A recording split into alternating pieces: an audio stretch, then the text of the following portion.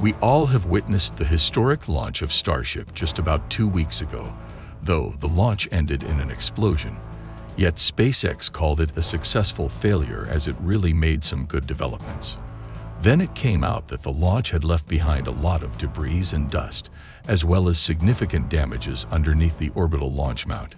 Now with all the devastation and destruction done to the launch pad and its surrounding by Super Heavy, SpaceX begins to rebuild and reconstruct the launch site. Hello Earthlings, welcome back to another episode from the Clout Boss. Today we're gonna start with an update on the future of SpaceX's Starship after its dramatic first launch and also to the nearby ground support equipment. Hold on, before you go any further, why don't you smash that like button? And of course subscribe and hit that bell icon so you receive that notification first for the next time we upload a new video.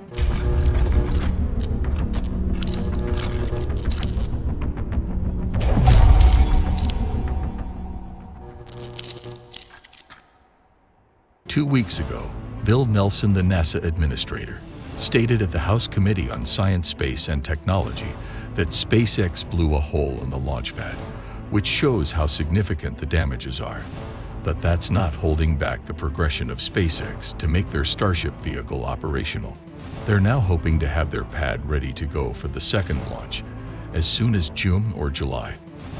Though it's expected that the launch timeline will depend on a variety of factors, such as the amount of repair work, regulatory approvals, and the readiness of the next Starship prototype to get the pad ready. Cleaning of the huge amount of debris created by the first orbital launch of Starship is a big task for SpaceX. It's already known to you how the violent thrust of Super Heavy Booster's Raptor engines have carved a crater into the ground and smashed debris into the launch tower, nearby tanks, and other ground equipment. But the good news is that SpaceX teams have already started repairs and rebuilding of the pads, as well as preparing for making their pad ready to get the next Starship prototype flying in a matter of months. Regarding the second launch timeline, NASA Chief Nelson stated that SpaceX is still saying that they think it will take at least two months to rebuild the launch pad and concurrently about two months to have their second vehicle ready to launch. NASA gave SpaceX a nearly 3 billion contract back in 2021 to use their rocket to land astronauts on the moon as part of the Artemis program. Therefore, it's expected they'll have close watch on SpaceX's Starship developments. As per NASA, they're really appreciating the success of Starship. The company had stated that not blowing up on the launch pad would be considered a success for the first launch, and it's evident that they've managed that quite well. Though the pad infrastructure still took a hit. As per reports, Musk had shared how much damage the launch pad had suffered.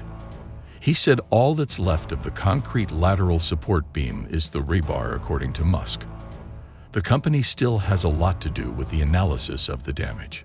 Musk guessed that the force of the engines when they throttled up may have shattered the concrete rather than simply eroding it earlier when 33 engine static fire was carried out. The engines were only at half thrust, so it didn't dig a hole beneath the mount. But during launch, thrust was much more so it's likely to happen. Now as a solution to such a problem, SpaceX is building a massive water-cooled steel plate to go under the launch mount. But it wasn't ready during the debut launch attempt, and relying on the concrete made it worse. As SpaceX now admits that relying on the concrete was wrongly thought, so we can expect that the water-cooled steel plate is to be used by SpaceX in the second launch of Starship. Other than this debris management and pad repairs, SpaceX will also need to get regulatory approvals for the second launch too. We all know what long way the company had to go to get their launch license from the Federal Aviation Administration. This time for the future second launch of Starship investigation of the first flight will also be added, probably making it time-consuming too. Weeks back on the day of orbital launch, they had said a return to flight of the Starship and Super Heavy vehicle is based on the Federal Aviation Administration determining that any system process, or procedure related to the mishap does not affect public safety. Report says that the Federal Aviation Administration has already initiated an inquiry into the launch of Starship Super Heavy, which exploded minutes after it lifted off later.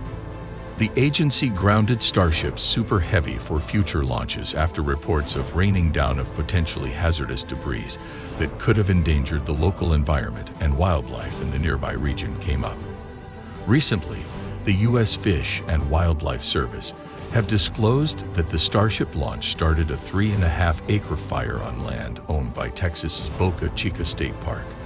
Though they didn't find any dead wildlife nearby, they observed that the massive blast of the raptors had flung concrete and metal thousands of feet away and created a cloud of dust and pulverized concrete that fell as far as six and a half miles from the launch site. Sources stated that Super Heavy will be grounded until the Federal Aviation Administration closes the investigation and clears SpaceX to move forward under the license. In order to expand on its first launch earlier last month, SpaceX plans to invest nearly 2 billion in the construction of its Starship rocket this year. According to Elon Musk, by expectation for the next flight would be to reach orbit Musk mentioned during a discussion two weeks ago. Musk said the business does not anticipate needing to raise funding to further support the Starship program and its other endeavors. The outcome was roughly in what I expected, and maybe slightly exceeding my expectations. Musk said regarding the April 20th launch. Within a few months, SpaceX hopes to fly the next mission using its enormous rocket that it has numerous additional prototypes of in various states of assembly. The goal of these missions is just information. Like we don't have any payload or anything. It's just to learn as much as possible, Musk stated.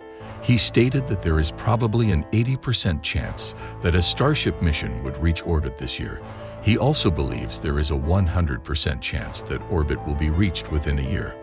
Also, according to Musk, it took the rocket's AFTS, or Autonomous Flight Termination System, which destroys the rocket if it veers off course, about 40 seconds to activate, which SpaceX will need to fix before the subsequent launch attempt.